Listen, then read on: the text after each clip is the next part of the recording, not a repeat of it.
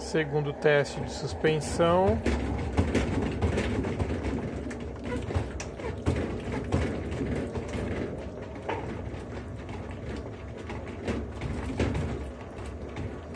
Ciclo rápido, então tem menos rampas.